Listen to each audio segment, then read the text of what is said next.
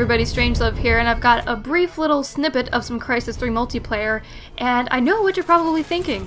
What's going on here? StrangeLuv, why are you teabagging these guys every time you kill them? Are you just really mean? Do you have some insatiable craving for a spot of tea? No, no, no, not quite.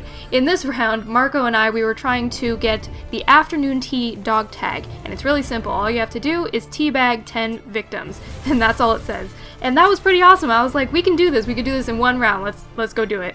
So um, every time I would try to kill somebody, I'd run over and attempt to teabag them without you know, getting killed. And more often than not, I would get shot by somebody who's probably just watching me teabag their friend on their team.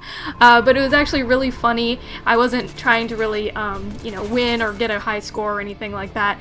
I was just trying to get this dog tag achievement for teabagging 10 victims. And it doesn't say whether you had to kill the victim or not. So um, I think actually one of the teabags that I did that counted was an assist that I got for a kill, but I ran up and still teabagged the dead body, and I think that actually counted.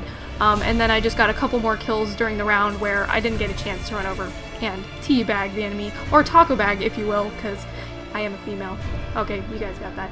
So anyway, I wanted to show this to you guys because it was really funny uh, running around trying to teabag people, and it would be even more fun if you had an entire team just teabagging victims every time you kill them.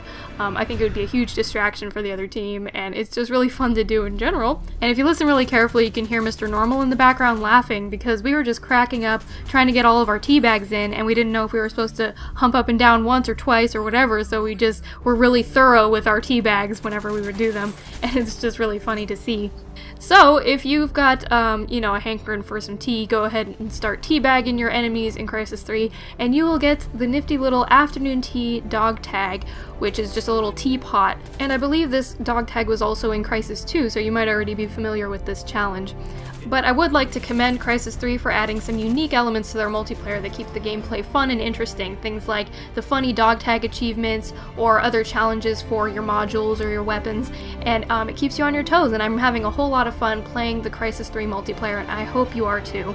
Now, this is what the afternoon tea dog tag looks like. It's just a simple little teapot, but I definitely wear it with pride and it was a lot of fun trying to get it. You don't have to do all the tea bagging in one round. You can get this over a span of however many games it takes you. Uh, but anyway, have fun out there making tea out of your victims, and I hope you guys enjoyed this video. Thanks so much for watching, and until next time, this is StrangeLuv, signing out. I can't believe it actually, like, recognizes that you're teabagging people. That is funny.